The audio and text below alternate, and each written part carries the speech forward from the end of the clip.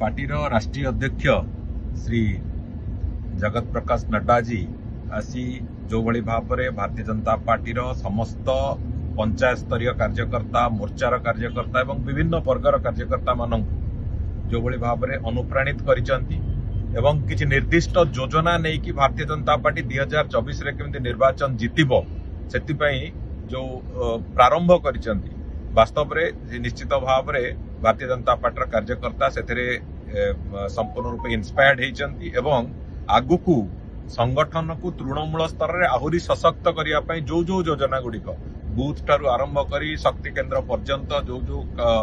ସାଂଗଠନିକ ବ୍ୟବସ୍ଥା ଭିତରେ ଯୋଉ ଯୋଉ କାର୍ଯ୍ୟକର୍ତ୍ତା ମାନେ ବାସ୍ତବରେ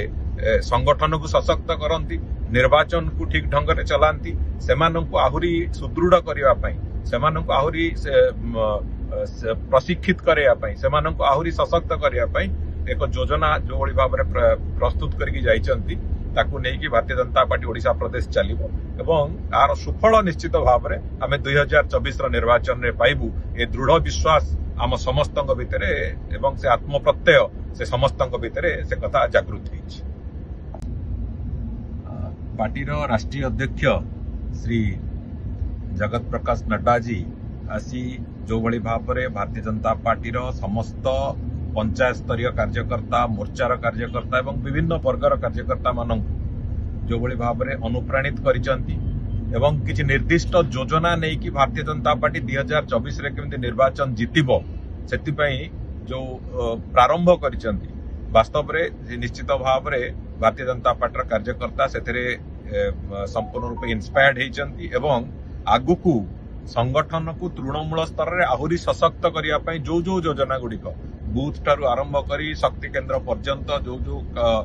ସାଂଗଠନିକ ବ୍ୟବସ୍ଥା ଭିତରେ ଯୋଉ ଯୋଉ କାର୍ଯ୍ୟକର୍ତ୍ତା ମାନେ ବାସ୍ତବରେ ସଂଗଠନକୁ ସଶକ୍ତ କରନ୍ତି ନିର୍ବାଚନକୁ ଠିକ ଢଙ୍ଗରେ ଚଲାନ୍ତି ସେମାନଙ୍କୁ ଆହୁରି ସୁଦୃଢ କରିବା ପାଇଁ ସେମାନଙ୍କୁ ଆହୁରି